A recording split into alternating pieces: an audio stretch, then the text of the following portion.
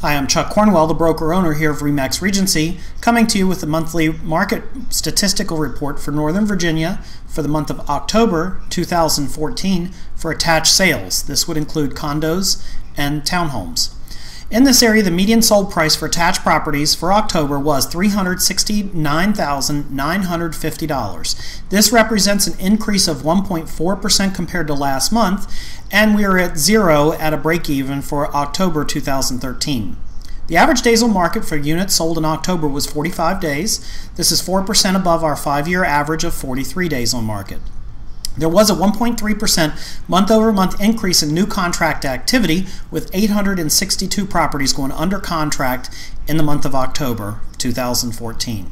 I know this is a lot of information to absorb, and the link below has a link to the uh, full report.